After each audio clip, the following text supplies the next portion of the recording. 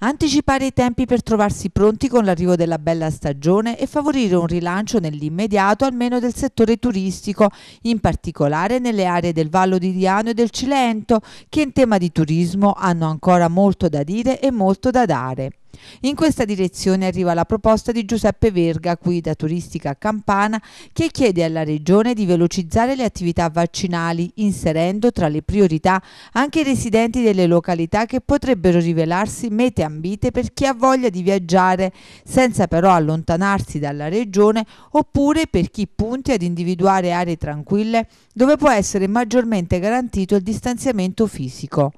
Un'ulteriore garanzia per chi ha voglia di viaggiare ma non vuole correre rischi per i contagi è la serenità di potersi recare in località dove tutti sono vaccinati.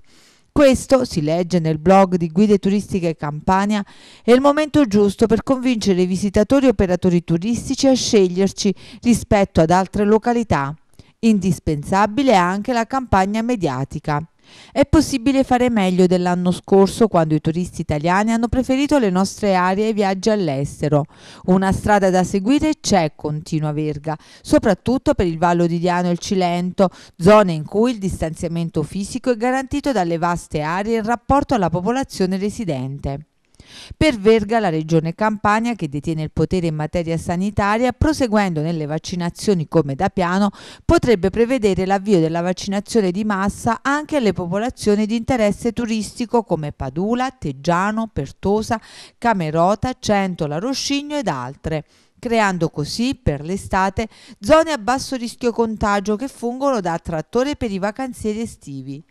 In aiuto al progetto si potrebbe ipotizzare un accordo con gli operatori sanitari privati. Si potrebbe prendere esempio dalla Grecia, sottolinea Verga, dove si stanno immunizzando gli abitanti delle isole che sono state sfiorate dal Covid-19, con l'auspicio di evitarne la diffusione in vista dell'estate e scongiurando lo stop degli arrivi dei turisti e addirittura attivando dei corridoi di viaggio, soprattutto per gli inglesi e i tedeschi.